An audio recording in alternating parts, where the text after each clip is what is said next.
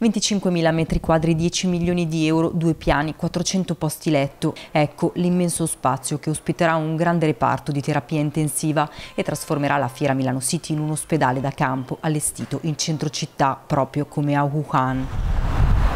Bisogna fare in fretta perché le strutture sanitarie lombarde sono vicine al punto di non ritorno, bisogna fare presto a trovare medici e respiratori, risorse necessarie per la realizzazione. Mi ha voluto chiamare, mi ha chiesto di dare... Ieri l'arrivo di Guido Bertolaso che in prima linea guiderà questa missione accanto al presidente Attilio Fontana. Loro sono pronti e a dimostrarlo è il padiglione già allestito in una sola giornata con una decina di letti, un prototipo, un modello presentato alla stampa.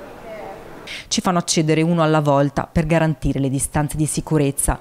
Il percorso inizia dal blocco servizi, c'è un cartello bianco a segnalarlo, bianco e asettico, così come tutto il resto. Entriamo in uno degli spogliatoi, ci sono due docce per medici e infermieri, esattamente identico lo spogliatoio accanto. Un lungo corridoio divide il blocco servizi da quello degenze. Qui saranno ricoverati i pazienti più critici. Entriamo, ecco i letti, i beni più semplici da reperire, ma mancano respiratori, ventilatori e tutte le attrezzature necessarie.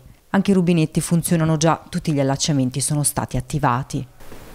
Proseguiamo in un'altra stanza, ecco qui 5 letti, quello che vediamo è un modulo da 10 posti l'uno, 4 saranno riservati alla terapia intensiva e 6 alla subintensiva, modulo che sarà replicato lungo i padiglioni 1 e 2, a disposizione per il personale sanitario anche un ristorante mensa. I soffitti sono altissimi, le luci a neon e l'aria che si respira all'interno è raggelante, ma questi spazi rappresentano la più grande speranza per la sanità. Ora manca solo il via libera della protezione civile, le forniture e mille tra medici e infermieri.